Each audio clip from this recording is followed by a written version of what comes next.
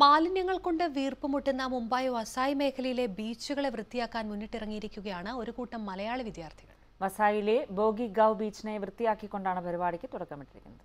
പൈൻമരങ്ങൾ കൊണ്ട് ഭംഗി നിറഞ്ഞതാണ് വസായിലെ ബോയിഗാവ് തീരം. എന്നാൽ ബീച്ചിലേക്കുള്ള സഞ്ചാരികളുടെ വരവ് കൂടിയതോടെ ഇവിടം മാലിന്യ കൂമ്പാരമായി. ഭംഗിയേറിയ ബീച്ചിന്റെ ഈ അവസ്ഥ കണ്ടാണ് വസായി ഫൊറോനയിലെ യുവജനങ്ങൾ ഒത്തുകൂടിയത്. ബീച്ചിന്റെ ഭംഗി തിരിച്ചു കൊണ്ടുവരിക.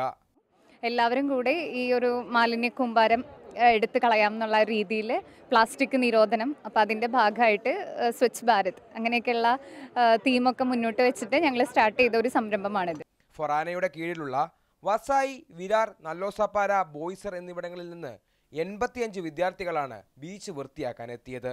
പരിസ്ഥിതി സംരക്ഷണ പ്രവർത്തനങ്ങൾ വ്യാപിപ്പിക്കുക എന്ന ലക്ഷ്യത്തോടെയാണ് പരിപാടി. ഞങ്ങളുടെ ഞങ്ങളുടെ രൂപതയിൽ എൻവയോൺമെന്റ് ഡേ ആയിട്ട് ആഘോഷിക്കുന്നതിനെ കുറിച്ച് ഈ വർഷം പ്രത്യേകിച്ച് പ്രകൃതിയെ സ്നേഹിക്കുന്നതിനെ കുറിച്ചുള്ള ഒരു മുന്നേറ്റമാണ്. കൊറോനയിൽ യൂത്തുകാരുടെ നേതൃത്വത്തിൽ ഒരു ബീച്ച് ക്ലീനിങ് ഡ്രൈവ് നടത്തി. നാല് മണിക്കൂർ നീണ്ടുനിന്ന ശ്രമത്തിനൊടുവിൽ എട്ട് കിലോമീറ്ററാണ് വിദ്യാർത്ഥികൾ ശുചീകരിച്ചത്.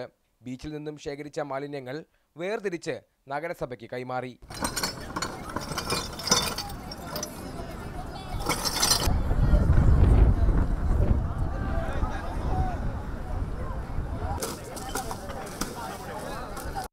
എല്ലാവരും കൂടി ഒരുമിച്ച് ഒരു പണി ചെയ്യുമ്പോൾ ഒരു ത്രില്ലിംഗ് എക്സ്പീരിയൻസ് അതായത് ബോറിംഗ് ഇല്ല പിന്നെ പെട്ടെന്ന് പണിയും ചെയ്യും ഇപ്പോൾ എല്ലാവരും കൂടി ഒരുമിച്ച് അങ്ങനെ എല്ലാവരും കൂടി. ഇറ്റ് വാസ് വണ്ടർഫുൾ എക്സ്പീരിയൻസ് എല്ലാ ആഴ്ചകളിലും ശുചീകരണ പ്രവർത്തനങ്ങൾ തുടരാനാണ് വിദ്യാർത്ഥികളുടെ തീരുമാനം.